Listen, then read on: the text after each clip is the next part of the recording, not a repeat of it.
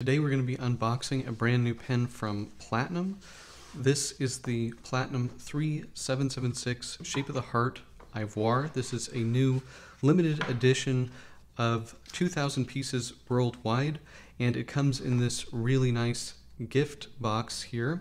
You get a black and blue cartridge, you get a silver colored converter, and you get a 20 milliliter bottle of Aurora Blue ink. It has a really nice cap here which says Shape of the Heart. This is the Platinum 3776 Shape of the Heart Ivoire. It comes in this really cool matte white finish. The reason it's called Shape of the Heart is up at the finial here on the cap. We have these cubic zirconia in here, and then you can see there are these little rhodium colored hearts. And what these actually are, are the two pieces from the nib that normally cut out the breather hole, and they stick those in the finial. I love the matte white with the rhodium trim. It looks really, really nice.